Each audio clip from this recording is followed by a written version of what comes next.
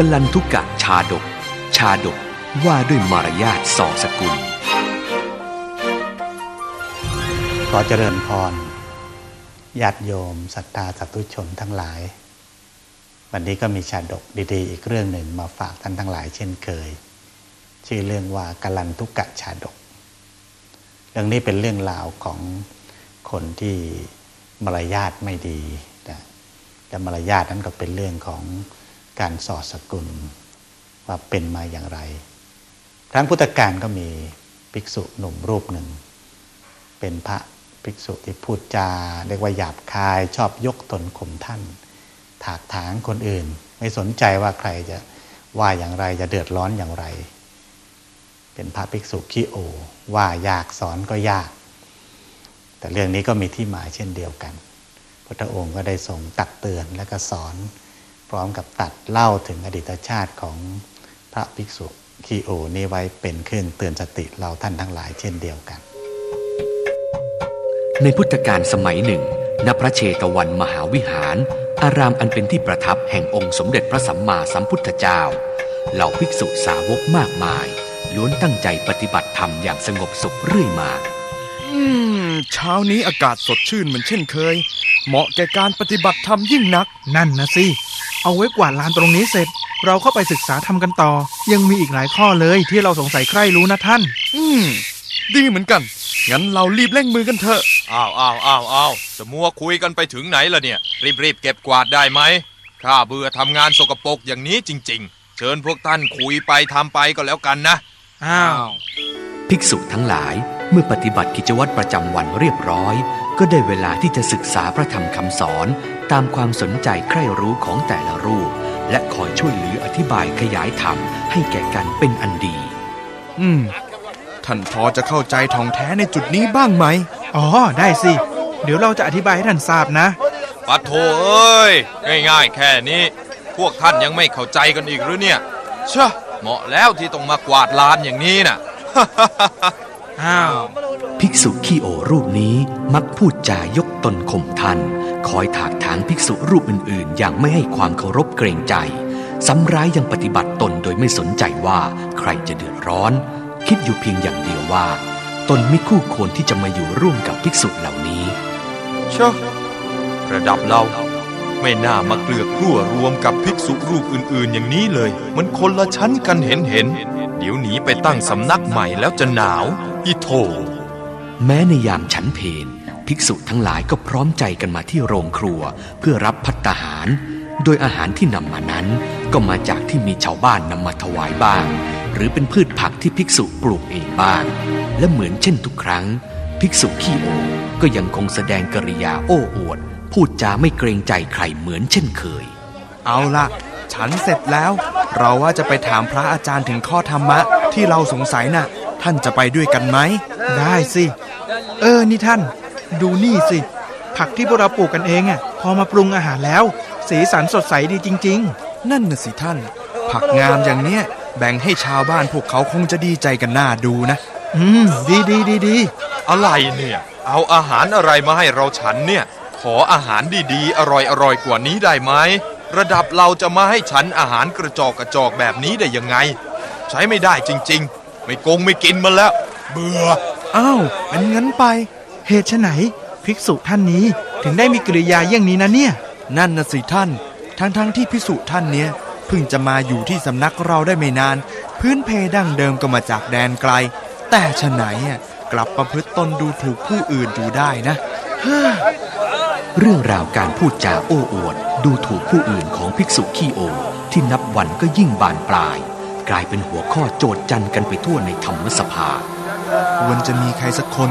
พูดเตือนพิสุท่านนั้น เรื่องการพูดจาบ้างแล้วล่ะงั้นก็เชิญท่านเข้าไปพูดกับเขาแล้วกัน พวกเราอะจะเป็นกำลังใจให้อยู่ห่างๆนะอ้าวอย่าเกี่ยงกันเลย ของอย่างนี้ไม่มีใครอยากไปพูดหรอก คงต้องให้เจ้าตัว รู้ตัวด้วยตนเองหลักกระมัง เหนื่อยใจ เหตุการณ์นี้ได้ล่วงรู้ไปถึงองค์พระสัมมาสัมพุทธเจ้า จึงได้ทรงตรัสเรียกภิกษุขี้โอนั้น ก่อนจะเรียกภิกษุขี้โอรูปนั้นเข้าพบ และตรัสสอนให้ภิกษุรูปนี้ เปลี่ยนแปลงความประพฤติของตนเองซะดูก่อนภิกษุ เหตุไฉนเล่าท่านจึงได้มักพูดจาโอ้อวดถากถางผู้อื่นอยู่เยี่ยงนี้เล่าเออข้าพระองค์ก็เพียงแต่เห็นว่าข้าน่าจะได้อยู่ ได้ฉันในสิ่งที่ดีกว่านี้เท่านั้นมิได้มีเจตนาจะว่าร้ายใครเยี่ยงไรเลยขอรับ ภิกษุเอ๋ยการกระทำเยี่ยงนี้นับว่าไม่สมควรต่อการครองเพศสมณะยิ่งนักมิเพียงแต่ในชาตินี้เท่านั้นหรอกนะ ที่ท่านประพฤติตนเยี่ยงนี้ แม้ในชาติปางก่อน ท่านเองก็เคยประพฤติตนเยี่ยงนี้ จนได้รับความเดือดร้อนมาแล้วเหมือนกัน จากนั้นพระพุทธองค์จึงทรงระลึกชาติด้วยบุพเพนิวาสานุสติญาณย้อนไปในอดีตชาติ ตรัสเล่ากลันทุกะชาดก เป็นแง่คิดให้กับภิกษุขี้โอรูปนี้ และเหล่าภิกษุทั้งหลายได้ฟัง เพื่อระลึกถึงโทษแห่งการยกตนข่มท่าน คอยถากถางบุคคลอื่นไว้ดังนี้ ย้อนไปเมื่อครั้งอดีตการ ครั้งสมัยพระเจ้าพรหมทัต สวยราชสมบัติอยู่ในพระนครพาราณสี ปกครองแผ่นดินพาราณสีอย่างสงบสุขร่มเย็น แหม วันนี้ปลานี่ช่างสดจริง ๆ เลยนะ วันนี้ซื้อปลาไปทำกับข้าวกินดีกว่า โอ้ยจะซื้อไปทำไม ไปที่บ้านท่านเศรษฐีสิ วันนี้ท่านนำอาหารมาแจกชาวบ้านอีกแล้วนะ อ้าวอ้าวเล่นมาพูดกันต่อหน้าแผงข้าอย่างนี้มาขายไม่ออกกันมาดีเลยโอ้ยมาทุ่มด้วยผักเลยอย่างพวกนี้นี่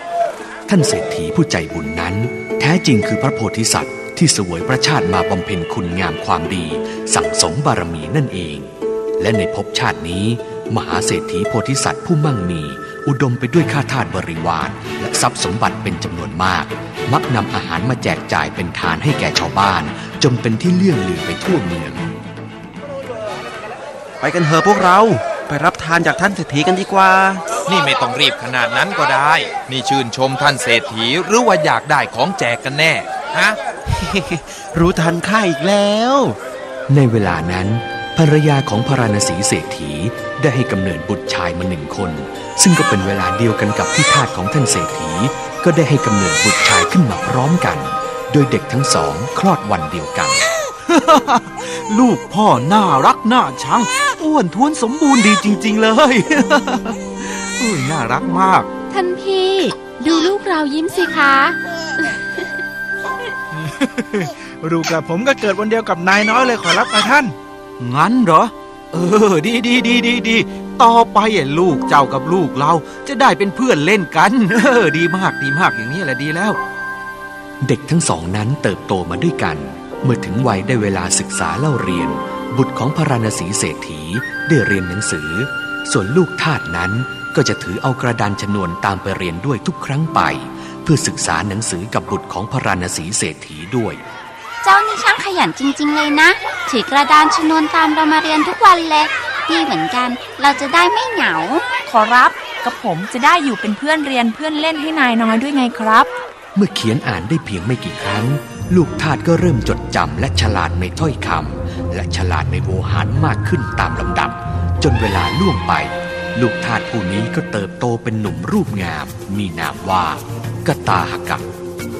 เฮ้ยร่ำเรียนมาซะสูง แต่ไม่แคล้วยังไงซะ เราก็คงได้แค่ลูกทาสนั่นแหละด้วยความที่ท่านพระราณสีเศรษฐี เห็นว่ากตาหกะมีความชาญฉลาด จึงได้มอบหมายงานให้ทำในเรือนของท่านเอง โดยกตาหกะได้รับหน้าที่เป็นเสมียนประจำอยู่ในคลังพัสดุ เรือนของท่านพระราณสีเศรษฐีนั่นเองอืม ท่านเศรษฐีอุตส่าห์มอบความไว้วางใจให้กับเรา เราต้องตั้งใจทำงานให้ดีที่สุด ให้สมกับที่ท่านมอบโอกาสให้ ต่อมากตาหากะก็เริ่มคิดขึ้นมาได้ว่า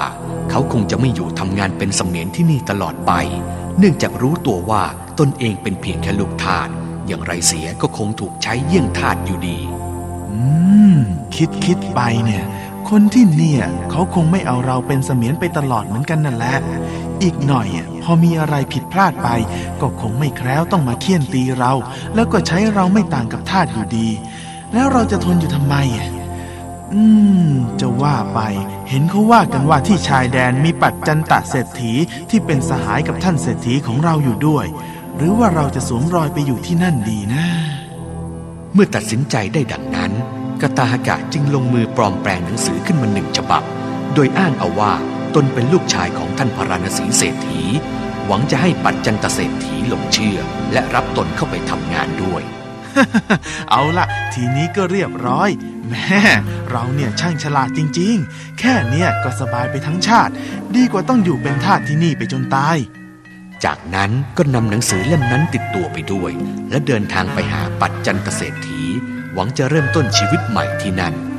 ต่อไปก็แค่มอบหนังสือนี้ให้กับท่านปัจจันตเศรษฐีดู แค่เนี้ยทุกอย่างก็เป็นไปตามแผน หนังสือเราก็ปลอมเสมือนขนาดเนี้ยไม่มีทางดูออกแน่ๆ เมื่อได้พบกับปัจจันตเศรษฐีกตาหกะก็จัดแจงมอบหนังสือที่ตนนำติดตัวมาด้วย ให้ท่านเศรษฐีได้พิจารณา ที่แท้ท่านก็เป็นลูกของท่านพาราณสีเศรษฐีเองหรอกหรือถ้างั้นก็เชิญอยู่ที่นี่ได้ไม่ต้องเกรงอกเกรงใจหรอกนะอาตามสบายเลยตามสบาย ขอบพระคุณท่านมากสำเร็จเป็นไปตามแผนเลย กตาหกะอาศัยอยู่ที่นี่อย่างเปี่ยมสุข ไม่นานนัก ปัจจันตเศรษฐีก็มอบบุตรธิดาของตนให้แต่งงานด้วย และอาศัยอยู่ท่ามกลางบริวารมากมาย แต่ยิ่งนานไป กริยาของกตาหกะก็ยิ่งโอ้อวดจองหองกระทำตนใหญ่โตไม่เกรงใจใคร อะไรกันเนี่ย พวกบ้านนอกอย่างเจ้าทำของอย่างนี้ให้ข้ากินหรือเนี่ย ไม่รู้หรือไงข้าน่ะเป็นบุตรเศรษฐีในเมืองนะ ไปทำของดีๆ มาให้ข้ากินสิ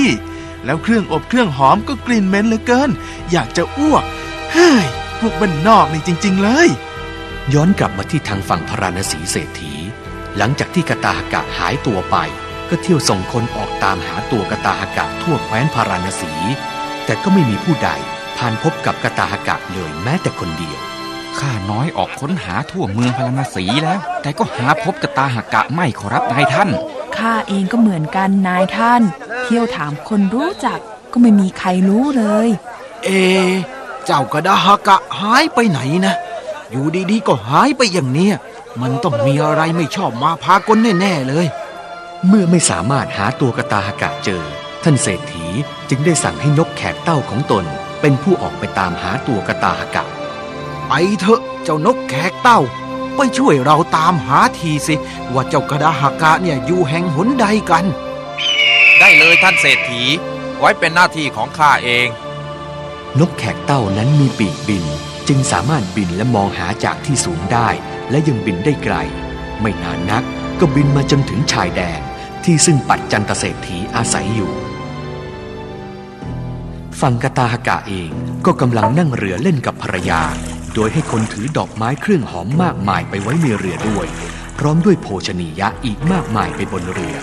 เนื่องจากธรรมเนียมของที่นี่ เวลาเหล่าเศรษฐีจะนั่งเรือเล่น ก็จะดื่มนมสดแกล้มด้วยเภสัชที่มีรสเข้ม เพื่อทำให้ร่างกายอบอุ่น เวลานั่งเรือเล่นน้ำก็จะไม่รู้สึกหนาว ฮ้ยธรรมเนียมของที่เนี่ยช่างแปลกนัก ก็อีแค่เราจะนั่งเรือเล่นทำไมต้องมีอะไรมากมายขนาดนี้เนี่ย กตาหกะนั้นหาได้นำนมนั้นมาดื่มเพื่อสร้างความอบอุ่นให้กับร่างกายไม่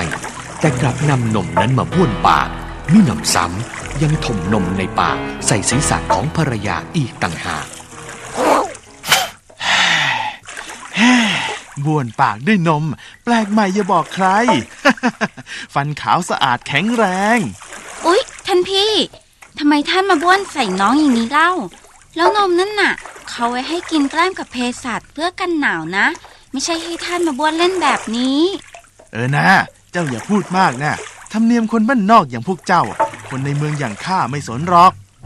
ฝ่ายนกแขกเต่าเมื่อบินมาถึงฝั่งแม่น้ำก็เหลือบเห็นกตาหกะเข้าพอดี จึงบินลงมาเกาะที่กิ่งมะเดื่อเพื่อสังเกตท่าที เมื่อเห็นกตาหกะบ้วนนมใส่ศีรษะที่ดาเศรษฐี จึงเข้าไปต่อว่ากตาหกะอย่างเหลืออด น้อยน้อยน้อยน้อยน้อยท่านกรันตุกะชั่วเอ้ย ไม่ได้สำนึกพึงสังวรเลยว่าตนน่ะเป็นอะไรมาก่อน เที่ยวเอานมสดมาบ้วนปากอย่างนี้ได้ยังไงฮะ แล้วที่สำคัญนะนะ เจ้ากล้าดีเยี่ยงไรถึงไปถมรถศีรษะที่ดาเศรษฐีอย่างนั้น ฮะ นี่เจ้าช่างไม่รู้จักประมาณตนเลยหรือเนี่ย สกุลของเจ้ามิใช่สกุลสูง นี่ถ้านายท่านรู้ว่าเจ้ามาทำตัวเยี่ยงนี้ คงมิแคล้วต้องเดินทางมาจับตัวเจ้าไปแน่ๆ เจ้าจงดื่มน้ำนมนั้นเสีย อย่าเที่ยวเอามาทำเสียของอย่างนี้นะฝ่ายกตาหกะนั้นก็จำได้ว่านี่คือนกแขกเต้าของพระราณสีเศรษฐี จึงเกิดความกลัวว่านกแขกเต้าจะนำเรื่องไปบอกให้กับพระราณสีเศรษฐีได้ทราบ ใจเย็นๆสิพ่อนกแขกเต้า มานี่มา มานั่งข้างๆเราก่อนนี่ คุยกันดีๆก่อนก็ได้นะจ๊ะ นกแขกเต้านั้นรู้ดีว่ากตาหกะคงมีอุบายแซงทำเป็นเรียกเข้าไปใกล้ เพื่อหวังจะฆ่าตนปิดปากเป็นแน่ จึงตัดสินใจบินหนีออกมา มุ่งหน้ากลับไปรายงาน ให้พาราณสีเศรษฐีทราบโดยทันทีเชอะ อยู่ให้โง่เหรอขืนอยู่เจ้าก็บีบคอเราตายนะสิ เราไปดีกว่า เดี๋ยวเดี๋ยวเดี๋ยวนะเจ้านกบ้ากลับมาเดี๋ยวนี้ โถ่เว้ยมันน่านัก อืมเมื่อนกแขกเต้าบินมาถึงเมืองพาราณสี ก็รีบนำเรื่องที่ตนไปพบกับกตาหกะมาเล่าให้ท่านพาราณสีเศรษฐีทราบโดยทันที อืม ที่แท้ก็เป็นเช่นนี้นี่เอง เฮ้อ เห็นทีเราจะปล่อยให้เจ้ากระดาหกะ สร้างความเดือดร้อนที่นั่นต่อไปไม่ได้ซะแล้ว เราคงต้องไปนำตัวเขากลับมาเป็นทาสที่นี่ซะแล้ว ดีเหมือนกันนายท่านคนลืมตนแบบนี้ ต้องจับกลับมาเป็นทาสดัดนิสัยซะให้เข็ด หลังจากนั้นไม่นานพระราณสีเศรษฐีก็เดินทางไปพบกับปัจจันตเศรษฐี เพื่อขอนำตัวกตาหกะกลับเมืองพาราณสีเพื่อใช้งานเยี่ยงทาสต่อไป กลับพาราณสีซะเถอะกระดาหกะเอ๋ยเจ้าอย่าได้สร้างความเดือดร้อนให้เขาอีกเลยโถ่เราไม่น่าเลย เป็นเพราะความโอ้อวดอวดดีของเราแท้หลังจากองค์พระศาสดาทรงนำชาดกเรื่องนี้มาตรัสเล่าแล้ว ก็ทรงประชุมชาดกว่ากลันทุกะผู้โอ้อวดผู้นั้นในชาติที่แล้ว ก็คือภิกษุผู้นี้แหลส่วนพระรณสีเศรษฐีในครานั้น ก็คือเราตถาคตในชาตินี้เอง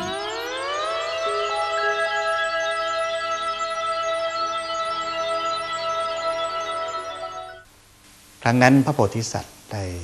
เสวยชาติเป็นเศรษฐีใหญ่ใจบุญ ใจบุญก็เรียกว่าทำบุญสุนทานอยู่ตลอดเวลา บุตรของเศรษฐีที่ได้ถือกำเนิดมา ก็ไปเกิดวันเดียวกับ บุตรหรือลูกของทาสเกิดพร้อมกันวันเดียวกัน และเป็นผู้ชายเหมือนกัน ลูกของทาสกับเศรษฐีก็ไปเรียนหนังสือด้วยกัน หรือไปเรียนด้วยกันก็เรียกว่าความรู้ที่ได้รับก็ก็ต้องพอๆกันแต่ว่าลูกทาสนั้นก็มีความกระตือรือร้นในการศึกษาเราเรียนความคิดความอ่านความจำก็ก็ดีเช่นเดียวกับลูกของเศรษฐี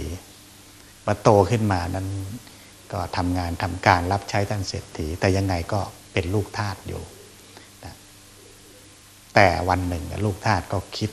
ถึงความเป็นทาสของตัวเองว่าทำงานไปอย่างเนี้ยก็จะมีแต่เป็นทาสไปตลอดชีวิต ก็คิดหาอุบาย ว่าจะให้ตัวเองนั้นสุขสบายอย่างไร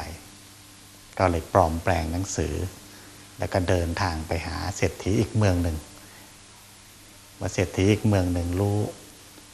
และเชื่อว่าลูกทาสนั้นเป็นลูกของเศรษฐีจริงก็ รับไว้ทำงานแล้วก็ให้แต่งงานกับลูกสาวของตัวเองได้ซ้ำไป ลูกของทาสได้แต่งงานของกับลูกของเศรษฐีโดยที่เศรษฐีนั้นก็ไม่รู้ตัวว่า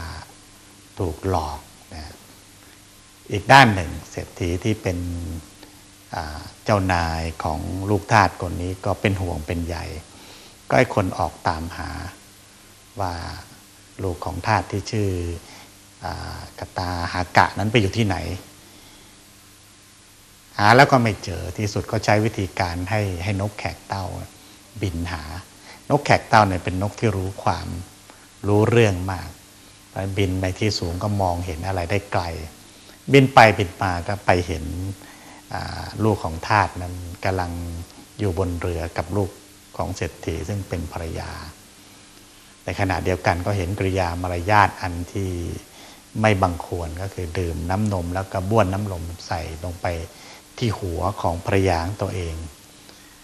เมื่อลูกทาสเห็นนกแขกเต้าก็ตกใจ เพราะกลัวว่านกแขกเต้านั้นจะต้องกลับไปบอกเจ้านายของตัวเอง ก็พยายามที่จะเรียกนกแขกเต้าเข้าไปหา เพื่อหวังที่จะปิดชีวิตของนกแขกเต้านกแขกเต้านั้นมีสติปัญญาดี รู้แล้วว่าลูกทาสคนนี้คิดไม่ดี ก็เลยบินกลับไปบอกท่านเศรษฐีเจ้านาย เศรษฐีก็เลยส่งคนมาตามจับลูกทาสคนนี้กลับไปเป็นทาสเหมือนเดิม ตรงนี้เองที่ทำให้เราได้เห็นนะว่า จริงๆ แล้วคนเราที่ชอบคุยโตโอ้อวด ชอบยกตนข่มท่านถักถางคนอื่น พูดจาหยาบคายมารยาทไม่ดีเนี่ยอยู่ที่ไหน ก็ไม่เจริญขอเจริญพร